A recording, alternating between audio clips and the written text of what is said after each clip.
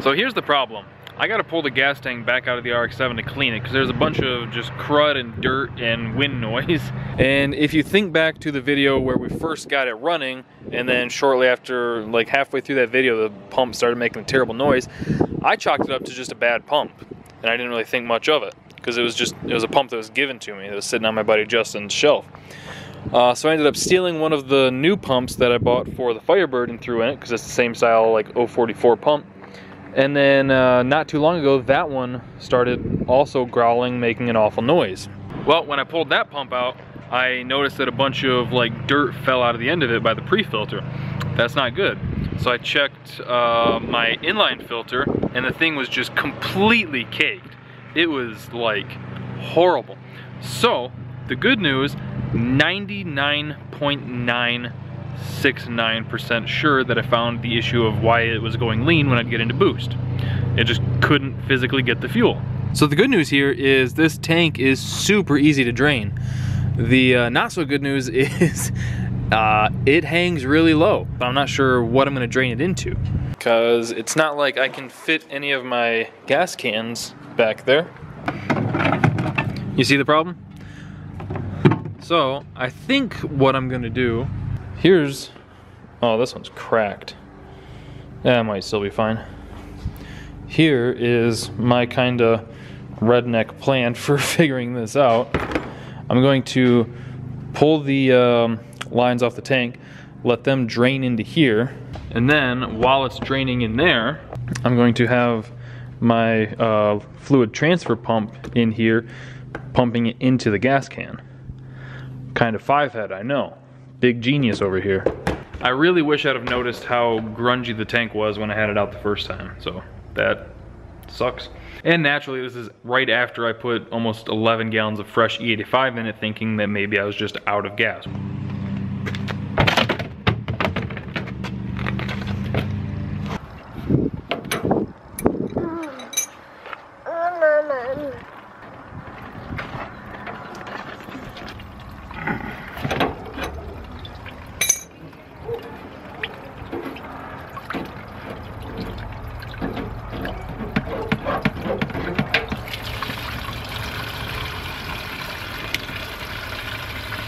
Uh, I'm gonna have to put one of the fuel lines back on. It's filling up too fast. It's up to about here now.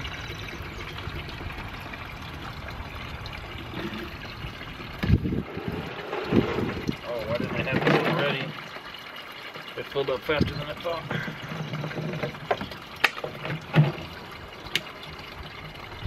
There we go. Alright, so I got it all drained. Know if you're going to be able to actually see anything. I mean, the bucket was clean, but it's not nearly as bad as I was expecting, considering what I saw in the tank or in the pump and in the filter. Uh, so to be honest, I'm not really sure what to do. I'm still going to drop the tank and clean it out, but it's just it's not as suspicious as it once was. But I did have an idea to put some of that E85 in the lawnmower to see if it makes the lawnmower mow the lawn any faster.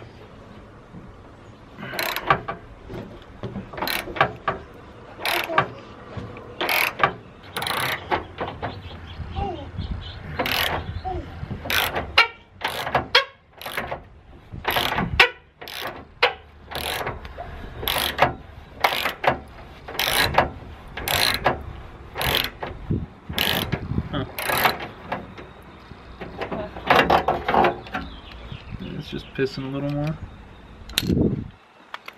Please stop. Please stop.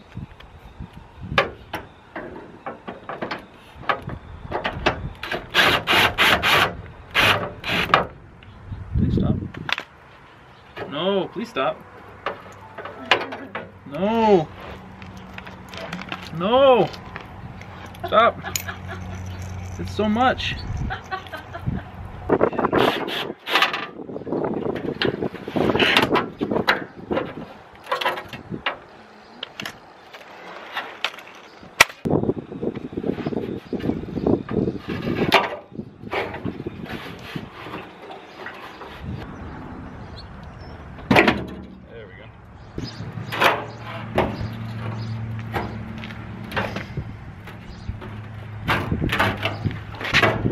I got the uh, NPT to AN fittings out and you can't see too well but you can see something in there. Looks kind of just like a chunk of rust. So there's, there's maybe half a gallon to a gallon still in here. I'm just gonna find a spot and let it drain out and flush a bunch of stuff out of here and then probably to be honest I'm not sure how I'm gonna clean this out because uh, the only place I know of like nearby that I can take the tank to and they'll hot tank it, clean it all out, and then reseal it is a place in Lansing. I don't remember what it's called, but I know where it is. It's 4 o'clock on a Friday, so I'm not going to be able to make it there in time. So I'm just going to see how clean I can get it, and uh, hopefully that's clean enough. Alright, man, I really screwed up. I should have filmed this because as soon as I sat it on there so that it could all drain, uh, I picked the tank up because there's like a half gallon or so in there. You can see. I picked the tank up and I just shook the hell out of it. And as soon as I sat it here to drain, this stuff, you, you can see it's just like brown crud. It looked like sewage water out of a motorhome or something. So I think what I'm gonna do now is um, probably let that finish until it's done dripping and then I'm just gonna hook the hose straight up to the fill neck here and just let it run for a while and periodically shake it up. But yeah that was bad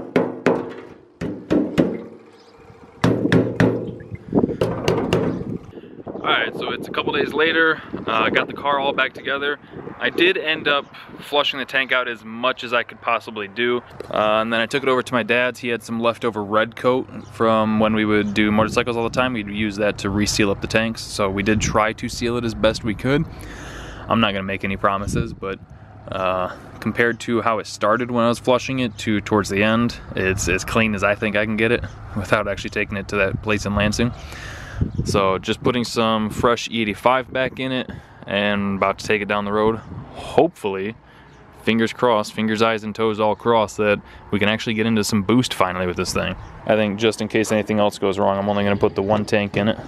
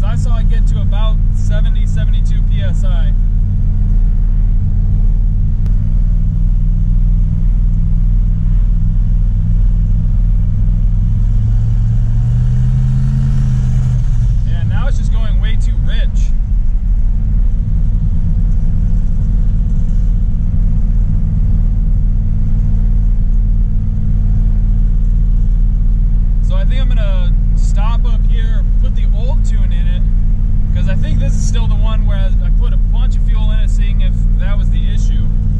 So I'm gonna put the put the old tune in it and uh, see how close that is.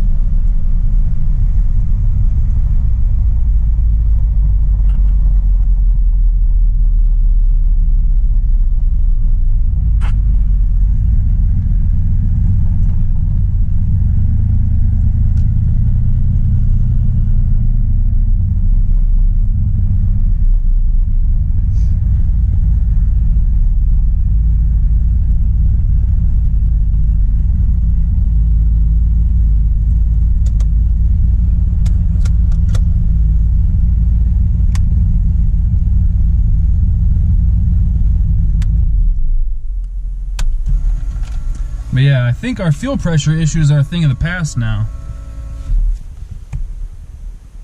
Um, back, back, file, global configs. Um,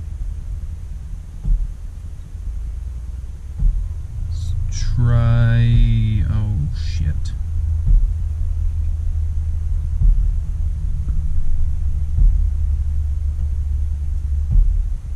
Let's try this one. And while we're doing that,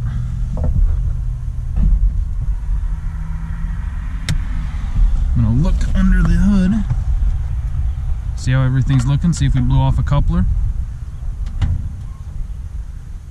No, all that's looking good. No fires. Oh, I forgot I've never put a catch can on this yet. Oh well. Everything else is looking good.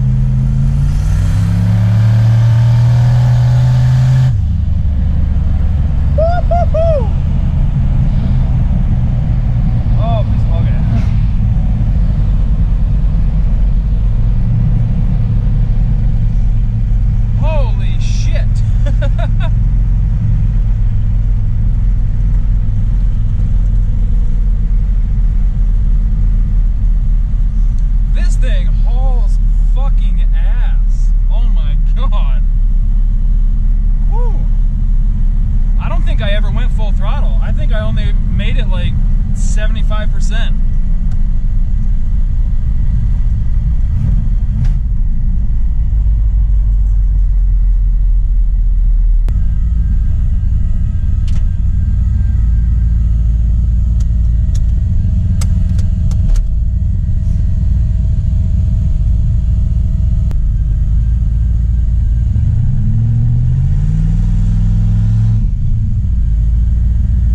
All right.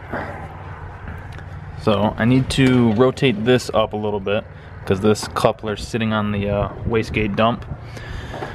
My dipstick tube blasted a little bit of oil. That's not the end of the world. Everything else seems good except the fuel pressure. When I came, when I left, it was like idling at 61 pounds. When I came back, it was idling at 56 pounds. So that has me a little concerned. And the fuel pump was making a weird noise again. So I'm not thrilled about that. But getting to kind of experience the boost in this thing a little bit, this thing boogie's pretty good. I don't think I ever went past like 75% throttle. And it was way faster than the truck ever was. So I suppose we just pull this line off so we can take the filter out and take a look at it. Hopefully it's not too bad. Let's see how quickly I can do this. Because there's a spot up here I can tuck the line.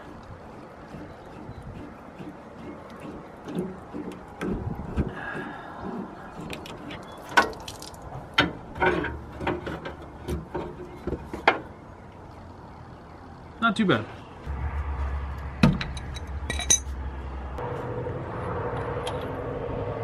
Oh yeah. There's some funk in there. Yuck.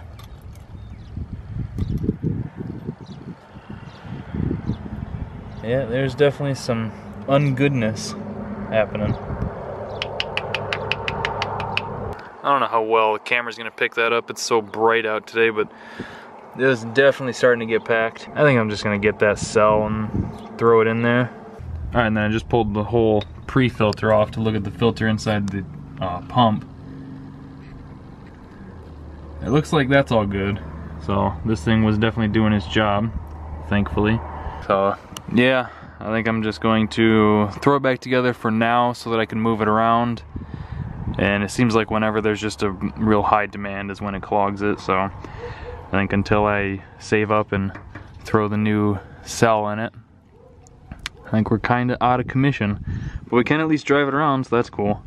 Well, very mildly bittersweet, but at least we figured out exactly what the issue was. Turns out it was the tank. So, like I said, I'll probably just order that Rhodes fuel cell for it. It's nice and low and wide, so it should fit under the rear floor pretty good. Uh, and then just a few small things here and there.